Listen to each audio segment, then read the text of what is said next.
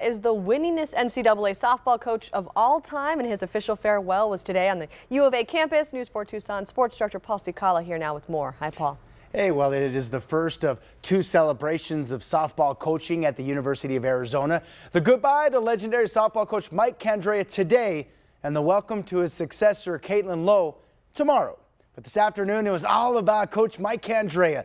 Not just his 24 trips to the Women's College World Series and countless victories on the field, but his dedication to his players, loved ones, and the Tucson community. Um,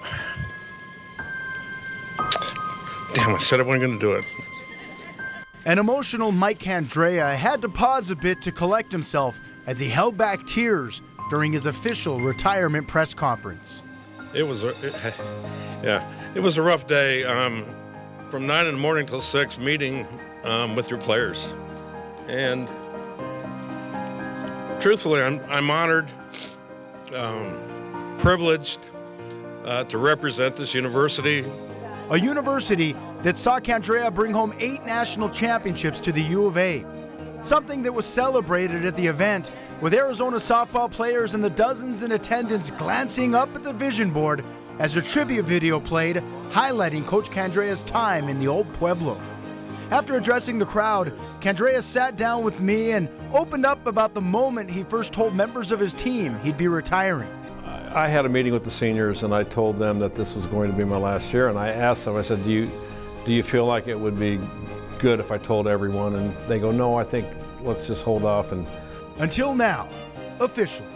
Still, Candrea says he'll remain as an advisor with the athletic staff and will even head to Europe to help the Italian national softball team's coaching staff prep for the Olympics.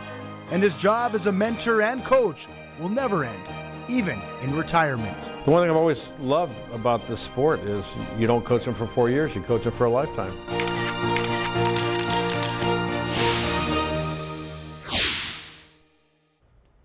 As mentioned, Caitlin Lowe will be his successor, and she'll officially be introduced tomorrow. We don't have enough time to talk about the countless accomplishments of Mike Candrea on one broadcast, but no worries, we have much more on his amazing career on KVOA.com. And don't forget, later in sports, we will have more in-depth coverage on Candrea's retiring. Plus, KVOA's very own David Kelly will add to our team coverage by catching up with others from the U of A athletics family on how Candrea has affected their lives. We'll see you then. All right, Paul, thanks. The Telegraph Fire continues.